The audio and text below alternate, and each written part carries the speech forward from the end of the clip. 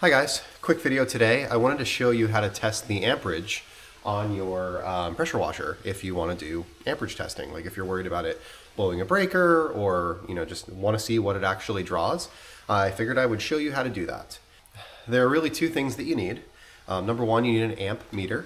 And then number two, you need a load splitter of some kind. So an amp meter is one of these things. It's got this clamp on the top of it. Um, you can get these from most hardware stores. This one's actually from Harbor Freight. I think it's like 29 bucks. I'm sure it goes on sale occasionally. Um, but you need something that supports whatever voltage you're running at. So for most people, that would be 120 volts. For me, it's 240. Um, and that has a reasonable amp uh, capacity. So this one goes all the way up to 400 amps. So we can see there's a 40 amp range, and that's the one that we'll be using for this test.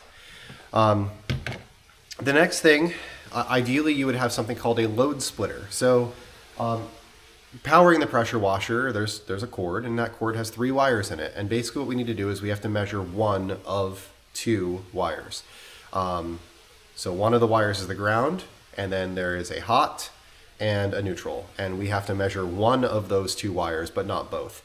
So if you take this and you just clamp it over the top of the cord, it'll actually read zero um, because it's reading. Uh, alternating current goes in two directions. It's reading both wires at the same time. They cancel each other out. So you have to read just one of the wires. Um, so companies make something called a load splitter that um, does this for you. Basically, it gives you a place to clamp onto. And I'll put a link to one down below. And here's a picture so you can see what one looks like. If you don't have a load splitter, um, you can make one. And, you know, in this case, I'm going to make one because my pressure washer is 240 volt and I couldn't find a 240 volt load splitter. Uh, load splitters are pretty cheap. They're 10, 20 bucks, somewhere thereabouts. Um, but you can do something like this. This is a short uh, extension cord. This is 12 gauge, 240 volts. Um, and it's uh, just a 12 inch um, extension cord. So we can use this um, to make a load splitter, a rudimentary load splitter.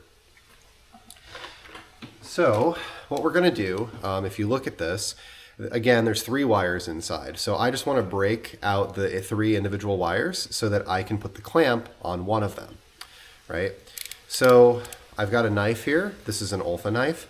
Um, and basically what you want to do is you want to, I'm going to say score, but really it's like very lightly scratch the casing all the way around like this. Okay. Now you don't want to cut through it because you don't want to nick the wires that are down below. So you just want to like score it, right? So there's a little line in it, just like that. And then what you'll find is if you um, if you bend the wire a little bit, you'll see that like that valley will open up, and you could just very lightly with your knife um, scratch through that. and you'll see like now I've, I've kind of got it through. And as I just work it around the casing will break all the way around. Again we're just being careful. We don't want to nick any of our wires below okay so now we've got our casing all the way through and then we can do um, the same thing maybe a couple inches down the wire so we'll do it like right here all right so we've completely gone through it in two sections but as you can see, we're leaving the insulation of the underlying wires untouched. So last, we're going to score in this direction down the outside of the casing. I'm to do that here on my workbench. Again, we want to be very light with that. So we can see if we just kind of get an edge started, you can peel this piece of casing right off. And that's what we're going to do. We're going to remove this piece of casing entirely from this section of wire. And there are other things you could use to make this. You could buy wire and plugs at your local hardware store, but that's going to cost a lot more money than this did. This was a $10 um, one foot extension cord. So now what we can see is there are three wires. So the next thing that you want to do is visually inspect right here and make sure that you didn't nick any of the wires or cut any of the wires and you have no conductors exposed. So you can see that I don't there. And then what we're going to do to test this is we're going to use um, the clamp on one of these wires.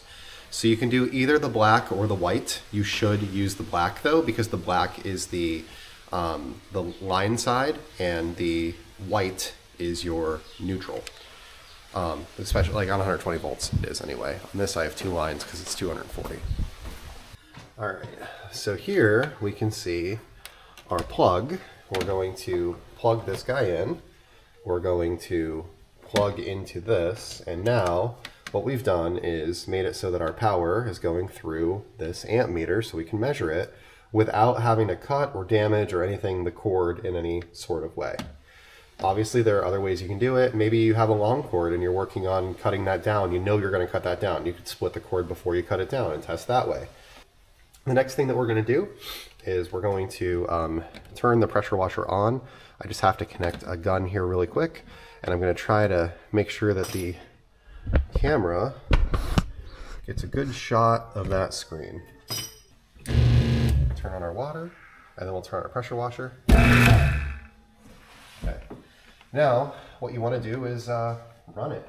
So we're going to uh, attach a tip, we'll run the pressure washer, and we'll see uh, what kind of readings we get.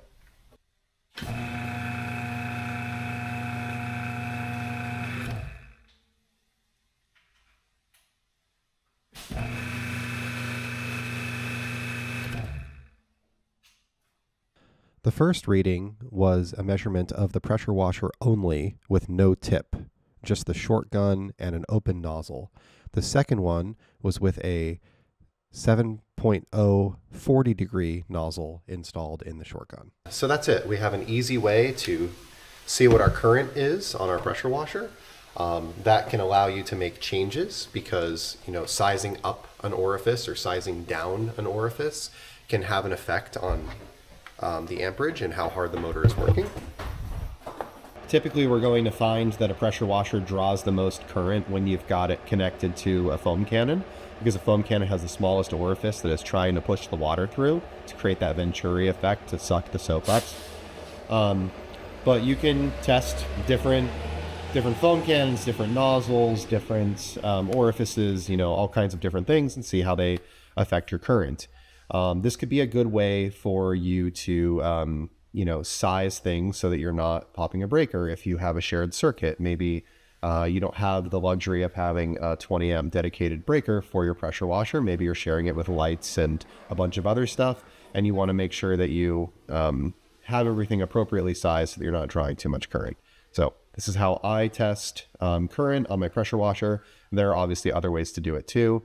Uh, like I mentioned earlier, if you're 120 volt, I would just grab a load splitter. They even sell them at Harbor Freight for 120 volt.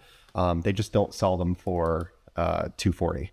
So unfortunately, I don't really have a choice in the matter. Or if they do, Amazon doesn't have them.